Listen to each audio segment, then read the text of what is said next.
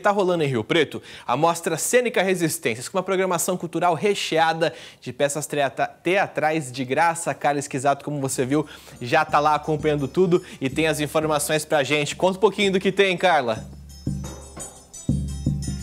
Olha, Casa Grande tem muita coisa esse final de semana, viu? Mas o que está aqui com a gente é o espetáculo, o espetáculo Alto da Paixão e da Alegria. Eles são de São Carlos e vão levar a plateia ao riso e à reflexão. Cinco saltimbancos narram a história de passagem de Cristo na Terra, acompanhados de, é claro, música ao vivo. Eu vou conversar com o Matheus, ele que é ator aqui da, do, dessa companhia. Matheus, fica aqui com a gente um pouquinho, ó. O que, que o, o grupo, então, quer levar para a população?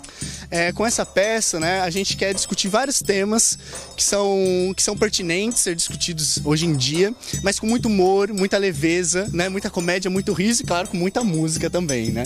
Com certeza, muita música. Pode voltar para lá, Matheus, porque eu vou conversar agora, então, com a Andréia Capelli. A Andréia, que é curadora da mostra, e vai falar para a gente um pouquinho da programação, né? Essa peça vai ser encenada aqui na Praça das Flores hoje às 5 da tarde, é isso? Isso, na Praça das Rosas, às 17 horas.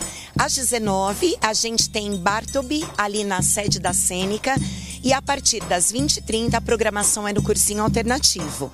Amanhã, às 17 horas, a gente vai estar lá na ocupação Vila Itália às 19 horas, de novo na sede cênica, e às 20h30, novamente no cursinho alternativo. É tudo gra gratuito, a gente está esperando todo mundo. Precisa pegar ingresso, convite antes ou não? Tem que chegar um pouco antes? Quando são espaços abertos, como praças, não é necessário pegar ingresso.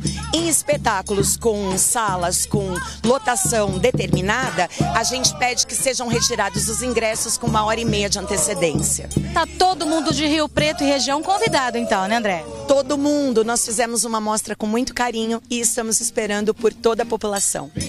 Certo, então. Obrigada pelas informações. Tá aí, Casa Grande. Opção de cultura aqui em Rio Preto é que não falta, né? Toda essa programação você pode conferir então no nosso portal de notícias, o sbtinterior.com.